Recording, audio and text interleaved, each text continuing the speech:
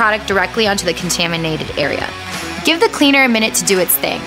It needs a bit of time to penetrate, especially if you got a lot of debris or some really tough baked on stuff. For those, let it soak a bit longer.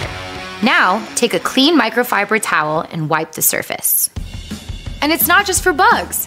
This product is amazing for tar removal too. Check out how it cleans up these splatters from the wheels and sides of the car. Ever try to peel off an old sticker and got left with that annoying sticky residue? Well, Rain-X Pro is your solution. It'll take care of that mess in no time. So heads up, steer clear of using it on rubber or weather stripping.